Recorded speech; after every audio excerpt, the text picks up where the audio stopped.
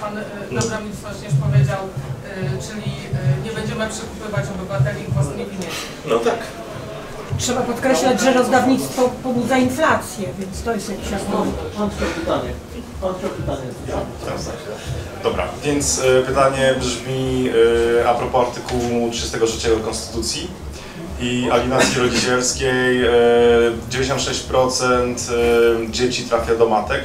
Czy panowie mają jakieś tutaj propozycje rozwiązania tego? A ojcowie są alienowani często, nie widzą swoich dzieci nawet często latami. I Zanim zadał Pan to pytanie, to powiedziałem Dobromirowi, teraz Ty odpowiadasz na to pytanie. Przewidziałem, jakie będzie pytanie. No, tak się składa, że nawet w tej naszej krótkiej deklaracji dowej jest już wzmianka o tym, że dzieci mają prawo do y, obojga rodziców nawet po ich rozstaniu. Co nie jest regułą w Polsce, jak pan wie, więc zdecydowanie opowiadamy się za wprowadzeniem domyślnej opieki naprzemiennej, y, wyrównaniem tych dysproporcji. Ja też akurat prowadzę ten zespół do spraw alienacji rodzicielskiej, więc to jest temat jak najbardziej tam mi bliski. Jeśli E, Pan ma jakieś tam konkretne postulaty do tego zespołu, też zapraszam do, do kontaktu, ale tak, jesteśmy świadomi jak najbardziej problemu. No, problem polega na tym, że, że on się tylko pogłębia pod rządami, pod rządami PiSu, bo PiS jedyne co robi to, chociaż wielu się po nim spodziewało, być może czegoś innego, to właśnie ulega Zwłaszcza z, środowiska Solidarnej Polski wychodzą takie, takie projekty typu to mieszkanie za pomówienie, teraz alimenty natychmiastowe, więc no niestety zmierzamy w przeciwnym kierunku i nic nie wskazuje na to, żeby tam jakieś otrzeźwienie nas, nastąpiło, mimo że jest w ogóle jakieś wbrew logice ich własnego mm, przetrwania, tak, no bo oni próbują punktować u feministek takimi postulatami, to jest takie sianie na, na betonie, prawda, można równie dobrze tam zasiać, to, to nic z tego nie będzie, nie? I tak będą te feministki nie powracać i tak. Natomiast, no tak, do, na, z całą pewnością dostrzegamy problem całkowitej, całkowitego braku równowagi. Przede wszystkim mm, y, problem polegający na tym, że państwo w momencie rozwodu ogłasza taki konkurs na lepszego rodzica, no i że, y, ze względu na to, że ta opieka naprzemienna rzadko funkcjonuje już kończy, y, to rodzice zaczynają się w tym momencie gwałtownie kłócić o to, który tym lepszym rodzicem się okaże, co poradzi, co, co zamiast rozwiązywać konflikt, tylko go napędza. No, państwo powinno, sądownictwo powinno służyć do rozwiązywania konfliktów, a nie do ich kreowania, a tymczasem właściwie to uregulowanie kreuje dopiero konflikt albo go wzmacnia. Pytanie.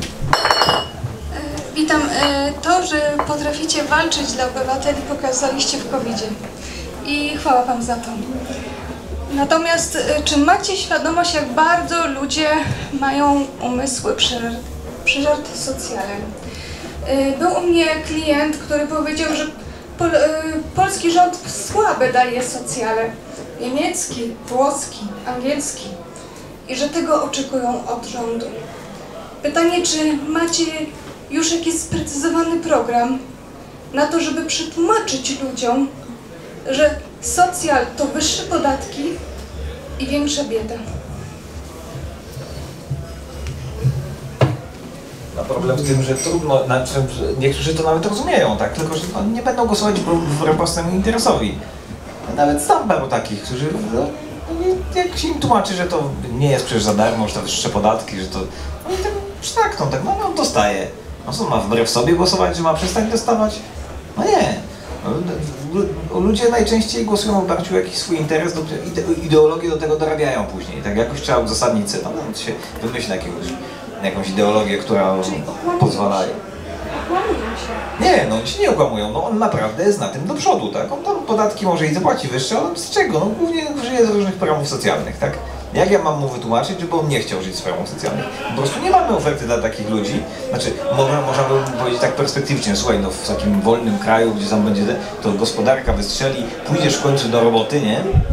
I se zarobisz, nie tak będziesz bidował tu z tych, z tych zasiłeczków, tu 500 plus, tu dotacja na mieszkanie, tu coś tam, coś tam, tylko będziesz żył jak panisko, tak? Jak się, jak się weźmiesz do roboty oczywiście. My ci stworzymy warunki, no ale to nie wiadomo, to jest namacalny papierek, tak?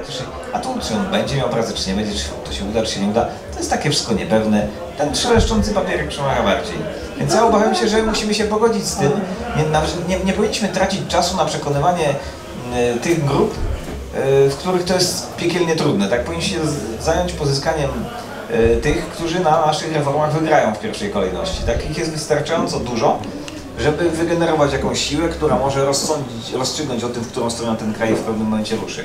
Na pewno moim zdaniem nie ma sensu z- zwracać się jakimś specjalnym prawem do ludzi, którzy żyją w dużej mierze, są beneficjentami netto budżetu, tak, no bo to nie przekonamy ich tak łatwo do głosowania przeciw własnemu interesowi. Wie pani co, ja mam, mam takich e, przyjaciół, e, którzy strasznie nie lubią PiSu. I raz kiedyś miałem rozmowę z nimi e, i oni e, i mówią tak, wie, wie, wiesz Artur, e, no my tego PiSu nie cierpimy, ale my mamy dwójkę dzieci, nie? To jest 12 tysięcy w ciągu roku. Także już trudno, nie? No trudno. Ty, mi tego nie dasz. Ja mówię, No tak, bo ja nie wygram wyborów, ale, ale no, to- to jest ta logika. Druga, druga rzecz, która zawsze bolała strasznie, to, było, to, to, to jest ta nieświadomość. Powiedziała Pani, że społeczeństwo jest przeżarte socjalem. Społeczeństwo oczywiście, że jest przeżarte socjalem, ale to wynika też ze skrajnej niewiedzy tego społeczeństwa ekonomicznej. No I ta niewiedza ekonomiczna, tak jak dzisiaj mówiłem we wstępie, ma dużą szansę się zmienić troszkę. Troszkę. Może nie bardzo, ale troszkę. I to będzie i tak duży sukces. Mm, Jak była kampania wyborcza w 2019 roku, pamiętam przy stoliku, ja spędziłem miesiąc przy stoliku, przez dzień, dzień w dzień, codziennie przez miesiąc. Stałem ze stolikiem na głównych ulicach mojego miasta, jestem z Gdyni, tam jest takie skrzyżowanie świętojańskie 10 lutego, to są dwie główne ulice, tam zawsze tłumy ludzi chodzą, tak jak u was na patelni tutaj w Warszawie. I ja tam stałem przez miesiąc, od rana do wieczora i rozmawiałem z ludźmi, zachęcałem do głosowania. Mm, e, I by- była jedna pani, e, która no właśnie wychodziła z zakupów, żabka obok. E, I ona tam się pyta, dobrze, ale co wy chcecie? No to ja jej tam się produkuję. Widziałem, że osoba chce porozmawiać, że to nie było jakoś, nie była wariatka żadna, całkowicie normalna osoba, która po prostu chciała wiedzieć, bo pierwszy raz widzi mnie na oczy, a widzi tam plakat z Korwitem i Brownem, no to od razu okej, o co chodzi, tak? No i zacząłem jej tam opowiadać o tym wszystkim. Tak. Trochę to potrwało, nie wiem, może z 5, może z 10 minut, po czym ona spuentowała to tak. Wie pan co? To fajnie brzmi, ale tak. Widzi pan tu zakupy, nie? Tu byłam w żabce przed chwilą. Wszystko drożeje. Ale na szczęście wasza konkurencja, czyli PiS, daje nam coraz więcej pieniędzy, więc my sobie jakoś z tym poradzimy.